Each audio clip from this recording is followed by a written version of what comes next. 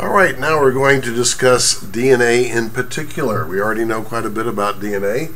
We know about its nucleotide. It has a phosphate group that's the same or different than the RNA phosphate group. Exactly the same, but it's got a different sugar than RNA, right? The sugar group for DNA nucleotides is deoxyribose, and then that brings us to the nitrogenous bases.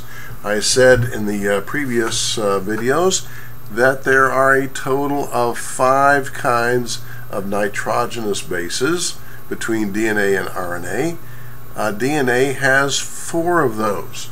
It has four kinds, four kinds of nitrogenous bases, and they can uh, be remembered, I think, uh, very easily by by uh, um, thinking of an acronym and uh, the acronym is a place that maybe a few of us would rather be than watching this video. I don't know. It's hard to imagine, but possibly so. And that is you'd rather be at the golf course. All right. And so, uh, at the golf course, there's a reason, another reason that we mentioned in the previous video for uh, for uh, that order being helpful at the golf course but unfortunately no points on the next test for answering at the golfer course. A stands for the uh, nitrogenous base adenine, T for thymine, G for guanine, and C for cytosine. And so, you may be called upon, you probably will be called upon on to spell out all, uh, most of those, maybe all of those. So you need to be able to spell those out.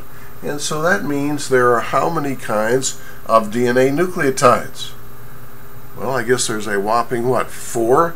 A phosphate sugar A, a phosphate sugar T, a phosphate sugar G, phosphate sugar C.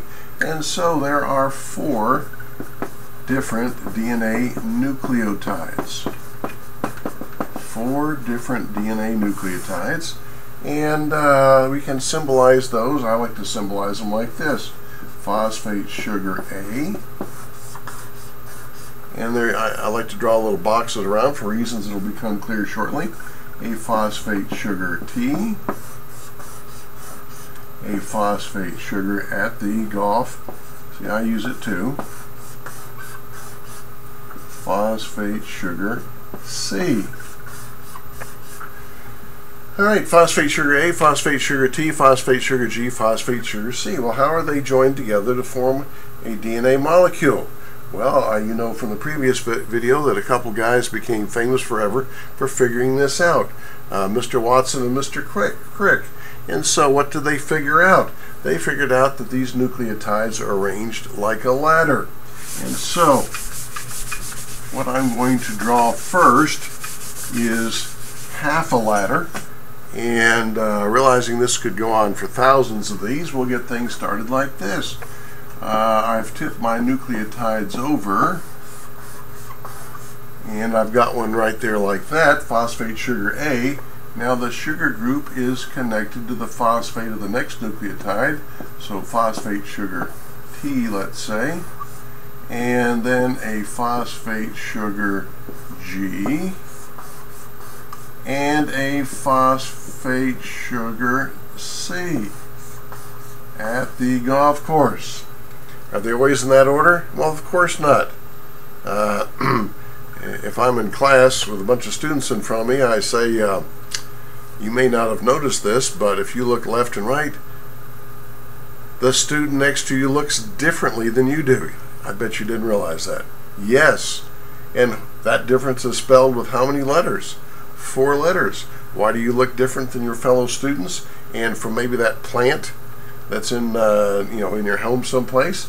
Because you have somewhat different uh, uh, arrangement of A's, T's, G's, and C's than your fellow students, and quite a bit different arrangement of A's, T's, and G's and C's than uh, that plant that's uh, sitting across on that table over there, perhaps. Now, that's only half a letter, ladder. Of course, and this goes on for thousands of these. What about the other half?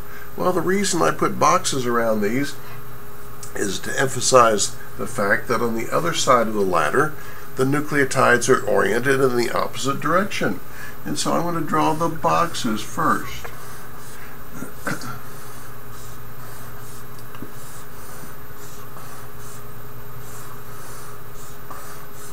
And so we're tipping our nucleotides over here. So what's in this one?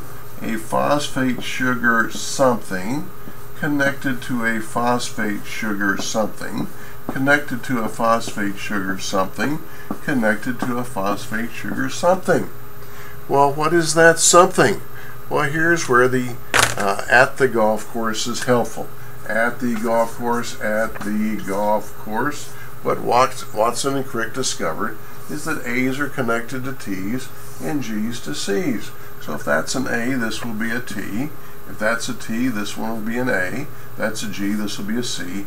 If that's a C, this will be a G.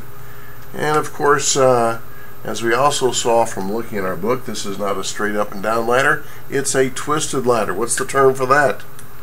Not twisted ladder. That, that won't cut it on the next test. Uh, what do you need to come up with? You need to come up with double helix. Double helix. A helix is like a slinky, except a slinky, when you expand it, is a single helix. Why is this a double helix? Because each side of the ladder forms an individual helix. So what do we have here? We have a uh, molecule in which the sides of the ladder, so to speak, are what? Alternating phosphate and sugar groups phosphate sugar, phosphate sugar, phosphate sugar, phosphate sugar. Same thing on the other side going the opposite direction. Phosphate sugar, phosphate sugar, phosphate sugar, phosphate sugar. And this goes on, of course, for thousands of these. And what forms the rungs of the ladder? Well, those are the nitrogenous bases.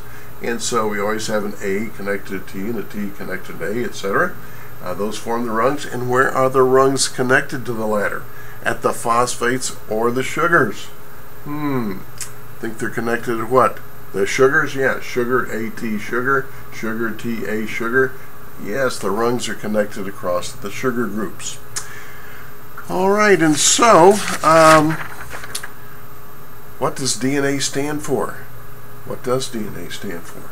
Well, DNA stands for, most, quite a bit of the name is the sugar group. Stands for deoxy ribo, that's a D, and then part of the same word, nucleic, there's the N, and then the A is acid, deoxyribonucleic acid. Yes, could I ask you that on a test? I surely could. Finally, in this little section, uh, there's the question below, what is the total length of DNA molecules in every human cell nucleus? So in the previous video, I showed you a picture of a human cell. It has a little nucleus there. And uh, uh, what's the total length of DNA inside that human cell nucleus? A number that may have astounded you. I don't know if it did or not. But there's how many, how many, what, how many feet? Six feet, six feet of DNA in every human cell nucleus. Wow. We'll see how all that works out in later units. But that is our, uh, that's it for DNA for right now.